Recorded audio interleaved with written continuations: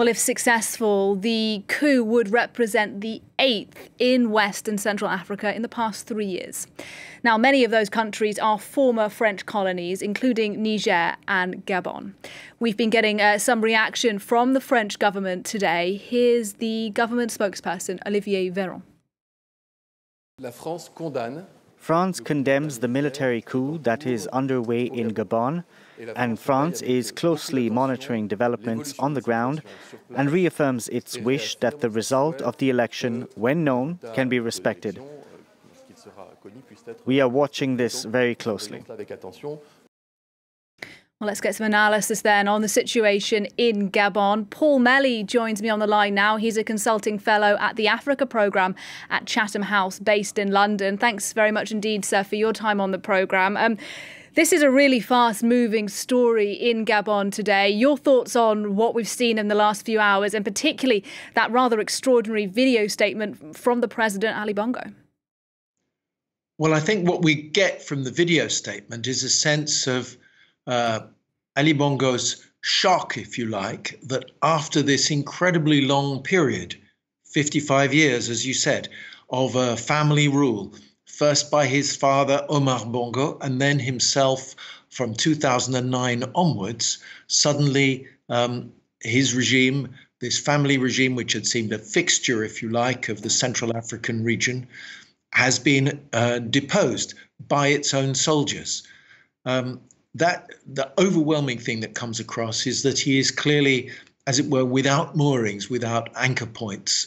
Um, he's cut off and isolated, and there isn't, if you like, a political agenda. In that sense, is rather different from the situation in Niger, where um, President Bazoum uh, had been elected in 2021 in an election that was seen as fairly credible uh, by international observers and by the West African region, and where um, he had that was when he came to power. Uh, it wasn't you don't have a long history of family regimes, so it's a very different situation. Well, what is true in Gabon is that um, over the time that the Bongo family have been in power, they have um, delivered some prosperity but there have been real shortcomings given that this is a country with a small population and substantial oil resources. And so the development track record has actually been rather disappointing in many respects.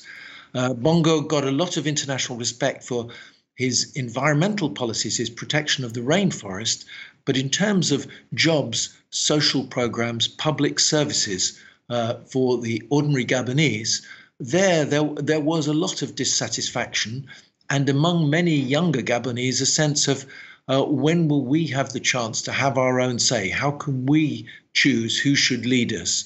Why do we have to assume that it's a fixed point that always the Bongo family will be in charge. Indeed. And, and on that, we haven't had a statement yet, as far as I'm aware, from the military generals who purport to be in power now in Gabon. But does it seem likely to you that they will want to try to hold on to power, as we've seen in other post coup countries like Niger that you mentioned? Or could this be the beginning of a democratic transfer in Gabon? Well, they obviously want to send the signal that that's what they're about. If you look even at the name of what they've called themselves and the agenda that they set out in that first statement on television, it's about protecting the institution, the constitution, if you like. So, although they've dissolved the institutions of the republic, they appear to be, without using the word democracy, saying that that's the motivation for the coup. And the background to this is that when Ali Bongo's father, Omar, died in 2009 and there was an election, Ali Bongo himself was elected in a in a contest that had other candidates, but whose result, if you like, seemed cloudy. Um, and then, equally, his re election in 2016 was surrounded by um, opacity, decided only by some very late final results from an area where his family are politically dominant and where the records of it from the polling stations were destroyed immediately afterwards. So, with those very um, shaky, if you like, or uncertain, opaque election results as his previous, as the basis for his previous terms in office. Uh, this third mandate, um, the fact that people there were doubts about the credibility of the election, that's something that of point of view, if you like, that very many people will share, and that has many people wondered why is he standing yet again? Because he suffered a stroke in 2018 although he's made a fairly good recovery many people felt well that was you know he's done two terms he's had a period of ill health now should be time to move on. And yet they felt the political system wasn't allowing them to do that just one brief final question, if I can, uh, Mr. Melly. In some of these other post coup countries in Central and West Africa, uh, anti French sentiment is running very high indeed. Is that the case in Gabon? Uh, it's possibly a bit less. And um, the French presence, although France has a very long standing close relationship with Gabon, France has kept a certain distance. Um, when Emmanuel Macron visited Gabon, he was very, very uh, insistent in stating he'd only gone there for an international environment conference. He was not getting involved in the political process, and his visit was not meant as any kind of endorsement of the Gabon government and its agenda. So um, France has stood back a bit, if you like, in Gabon.